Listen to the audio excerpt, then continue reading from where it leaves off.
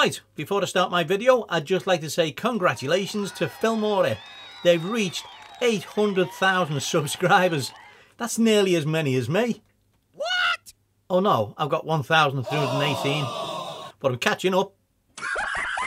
Anyway, to celebrate, they're doing an 800k giveaway with 100 winners, over $1,500 in prizes. So why not give it a go? It's free to enter and check out all the information in the description below. Lights, camera, action! Let's have some fun.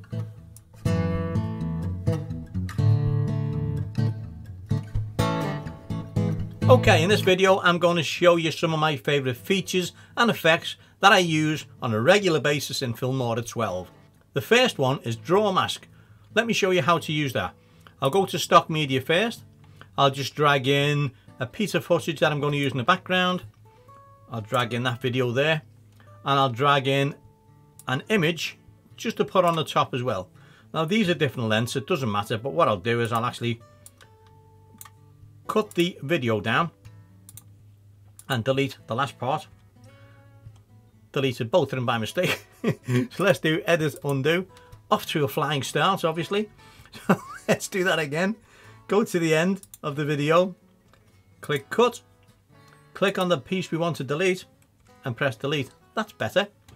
Okay, and let's go back to the beginning. You can see this is bigger than the, sorry, this is smaller than the footage behind. Started off great today, haven't I? bear with, bear with. Uh, but that doesn't matter because all I'm going to do, I'm going to cut out this eye and remove all that background by using a draw mask. So make sure you're on the top layer or the layer you want to create a draw mask on.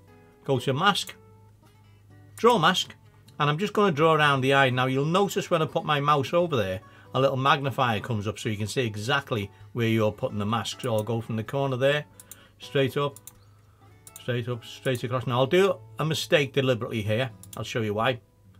And I'll go back around the eye and then close the mask, end the mask by clicking on the first point again. Now you can see I've gone a bit too far there. So you can actually edit it afterwards. Just click and move that in. And move in whichever bit you want. That looks a bit weird. So what I might do is make it a bit bigger. So you can, you can adjust all this at any time that you want to. Just by clicking and dragging. I know this looks a bit strange, but it is purely an example. It gives you an idea what you can do with draw masks.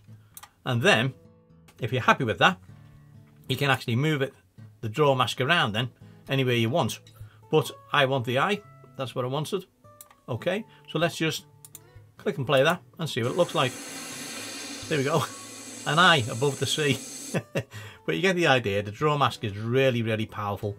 It allows you to cut any image shape or anything you want out of an image, out of a video, and then you can see the background behind. You can also click on the image mask as well and invert it. So then it just leaves that, which looks even more weird than my first one. so I'll go back. And that's the first feature that I use quite a lot. The next feature I use quite often is chroma key or green screen. And again, it's another great and powerful feature that you can use within Filmora 12. Let me show you how it works.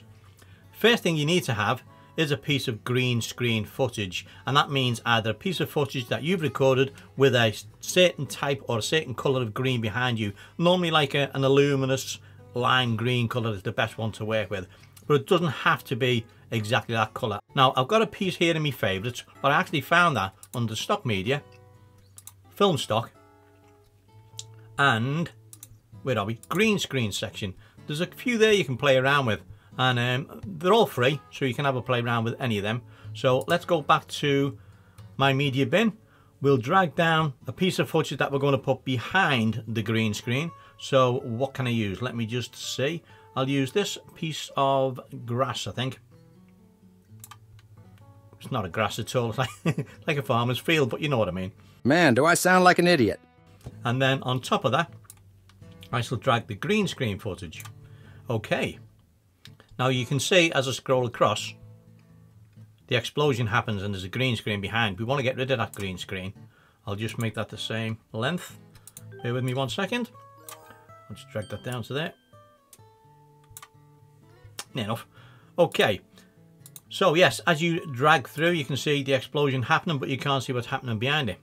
To get rid of the green screen, and this is the colour of green that works best, you simply click on the actual footage, go up to AI Tools, make sure Chroma key is switched on, and straight away, because it's the correct colour green, it's removed the green background. Now you can't see the explosion at the moment because it hasn't happened, but as I scroll through, I'll scrub through, you can see the explosion comes in.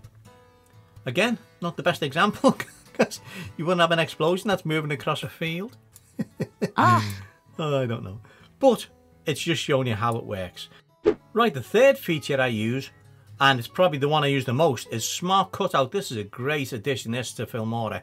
So let's just grab another piece of footage, like I said. We shall grab this seal. Footage of the seal. We'll have some water underneath. So if I hide this one, the seal, you can see we've got some water footage or sea footage. And then I've got the seal on the top here. Again, this is this is going to look a bit strange, but it'll show you how it works. So click on the top piece of footage that you want to use Smart Cutout on. Go to Video, AI Tools, and then we need to make sure that Smart Cutout is activated. Now we click on this icon here, click to start Smart Cutout. That brings up this panel. We have options of using the brush and making the brush bigger, smaller, depends on the size of the object you want to cut out. He's quite big, the seal, so I'll make the brush quite big. And what you do is you simply just go around, roughly around the edge of the seal. Make sure you're at the beginning of the clip. Now, because that hasn't picked up all of the seal, you can just carry on again and go around again and fill in the other bits. So there you go. It's got all of the seal there. And then you click on Start Smart Cutout. Let that work its magic. And it is magic. It's really, really clever. And you can see in the middle there, a bit of a flipper was missing. So, what we can do in a second, once it's finished, is we can actually scroll through the footage until we see his flipper come across there when it first comes up. We can highlight that in as well. Okay, now that should follow him through. So let's just do click start smut out again. click start cut out again. So let's see how that looks now. Okay, it's got a bit of his flipper in there. There's still some there that hasn't picked up, so just draw it in again. Bit too much there. So what you can do now is you can actually erase some of the edges as well. So put too much on there, so you can see I use the eraser tool to rub that out. Okay, so don't forget to always click to start Smart Cutout again. Okay, so that'll do as an example. Then save. What you've got now is an extra large seal on top of some waves. Fantastic. but what it's done is it's actually cut this out and removed all the background. And that's a lot harder to do if you're using a draw mask like I used before. A draw mask is great if the subject is stationary. If it's moving, I'd always use the smart cutout. Let me just resize that down bit because that's a really big seal.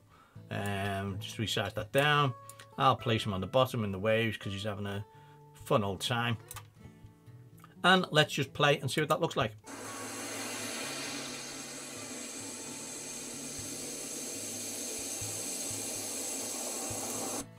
Stupid looking video, but, but a great, great, powerful tool to use in Filmora. I use it a lot. And as long as you've got the, the right subject matter in the front, uh, in the foreground in the background, it can look really good. And I've used it many times. So that's one of my other favourite features. Next, we're going to look at three of my favourite effects in Filmora. The first one is crop. Let's just drag this flower down. Make it the right size. And I want to crop this flower down just so you can see the actual flower itself and it doesn't have to be this big. So if we go to Effects, Recommended, and type in crop. There we go, crop. Just drag that onto the clip and now you will see you have an effects tab in the top right. This is where you can crop your image down. You can crop left, right, top, bottom. So you can do it, you know, individually. So you can just bring the left in if you want to. Let's just bring the right in as well. I'll bring the top down. And I'll take the bottom up. You can auto zoom. If you click on that, it automatically zooms it, but it can distort the image. Auto zoom just makes it fill the, fill the frame. And you can also blur the images, sorry, you can blur the edges as well if you have a background in there. But that's the crop and zoom feature. It's really, really good to use. You can crop as far as you want in left and right, up and down. And again, I've used that quite often too. This next effect, actually it's two effects, again are really powerful, really easy to use, and I've used them quite often. It's remove black background and remove white background from images, text. I'll show you text just for ease of use, but if you have an image with a white background or a black background that you want to get rid of, this is the easiest and quickest way to do it. Okay, the first thing I'm going to do is I'm just going to find some solid colour white. Okay, and a solid colour black. And on top of them, I'm going to put some text. So I'll drag that above the white. I obviously need to change this text colour to black so we can see it. So I'll do that by clicking on there. And I'll drag the other text onto the black. We've now got black text on a white background, white text on a black background. Now I'm going to take a snapshot of both of these. So I'll do OK on that one. And I'll do a snapshot and say OK on that one. Okay, we can get rid of these now. Now what we have here are two images now. One with a white background, one with a black background. What I'm going to do to show you how it works is I'll drag down a piece of footage. I know, why don't we use the water one? Not again! So I'll drag that down. I shall now drag down the two titles, the black on white and the white on black. And as you can see, this has got a white background, text, but underneath is a video that we can't see. So we want to remove this white background. Easiest way to do it, if you go to effects, and again, this is a free plugin, go to recommended, and if you start typing in remove and enter on your keyboard, the first two are remove black and remove white background. So let's remove the white one. Let's click and drag that onto the one with the white background. There you go. Your white background has disappeared. And we'll do the same for the black. Simply click and drag. And there you go. How easy was that? And again, I've used this quite often. It's great for black and white images as well. If you have a nice black and white image and there's too much white in the background or too much black, use these tools. Now the last effect I think I use in every single tutorial video. It's a paid effect, but for me it's really worth having. As soon as I show you it, you'll know exactly what it is. So again, I'll just bring a piece of stock footage down.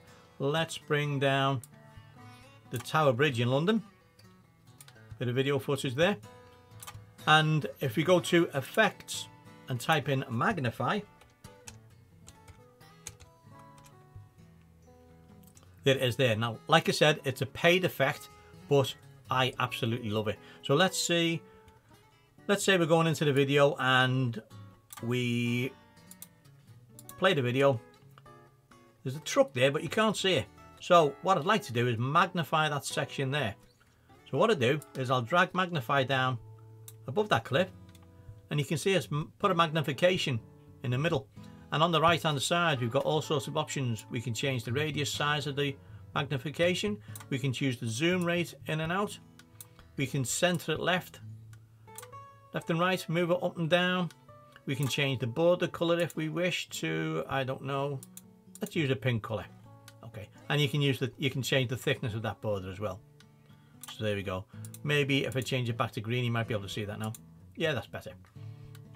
And you can also lower the alpha down, which basically makes the green a lighter shade.